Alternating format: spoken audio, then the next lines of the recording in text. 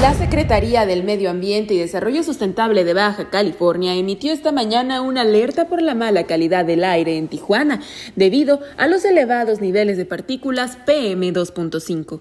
El fenómeno, que puede observarse como una densa capa que asemeja neblina, es en realidad contaminación atmosférica cubriendo una gran parte de la ciudad. Mónica Vega, titular de la institución, informó sobre la situación a través de un comunicado difundido en redes sociales, en el que también se ofrecieron recomendaciones para mitigar riesgos de salud.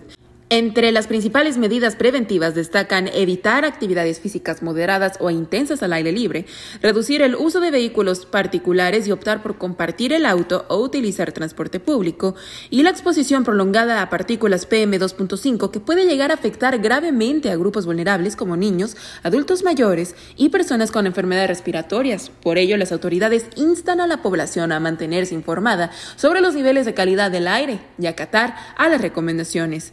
Esta fase de alerta se activa cuando las mediciones superan los límites establecidos por las normas ambientales, representando un riesgo para la salud pública. La ciudadanía puede consultar el índice de calidad del aire a través de las plataformas oficiales y reportar cualquier incidente relacionado al medio ambiente para contribuir a una pronta solución.